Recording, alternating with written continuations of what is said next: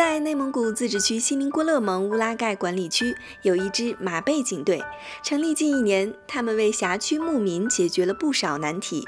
尤其在疫情防控期间，警队利用雪橇为牧民运送物资，做出积极贡献。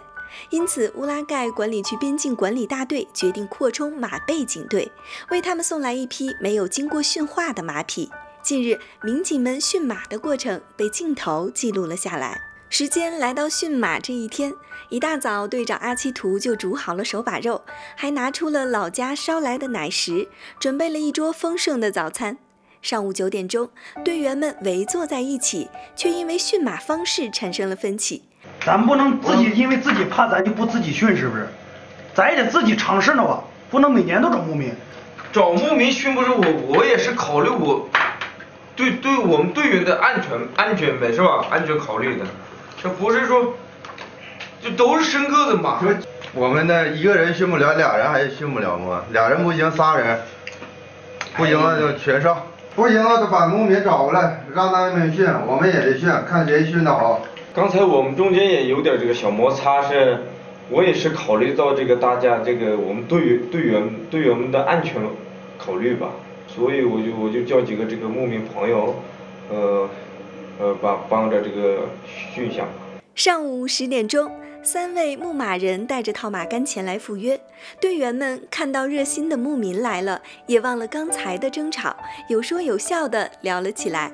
上午十一点钟，手持套马杆、身穿蒙古袍的牧民朋友和戴着警用头盔、身着深蓝色大衣的民警，经过一番商量，选定了一匹三岁的高个子马作为第一个驯服对象。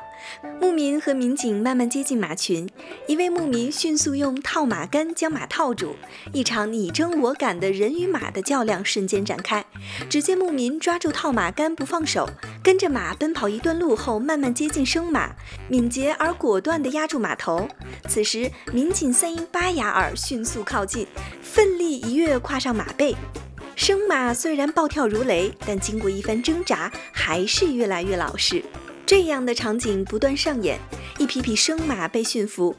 牧民不和哈达介绍说，驯马不仅是力气活，还是个斗智斗勇的过程，不能操之过急，要慢慢来。让马匹熟悉主人和培养感情，这样训出来的马才会有灵性，与骑手成为好朋友。时间在忙碌中过得飞快，转眼就是下午五点钟。民警莫日格德亮了一手烩菜的绝活，劳累一天的民警与牧民围坐一桌，吃着美食，聊的都是关于马的话题。呃，感觉效果可好，特别好，因为。他们不在的话，有可能这个抓马的时候也挺吃劲儿，挺困难的。今天这个因为有牧民朋友们的就是帮助吧，然后我们一起诶这个配合，然后我感觉这个不过一会儿就是抓了两匹马，也也训出来了。与牧民朋友道别后，阿奇图与两位民警骑上马，前往辖区内的赫斯格闹尔湿地巡逻。眼下正值候鸟迁徙季节，他们每天都要到车辆进不去的湖边巡逻，防止有人下网捕猎候鸟。驯马、巡逻，在乌拉盖管理区马背警队民警们的一天，就是这么朴实无华，却又充实。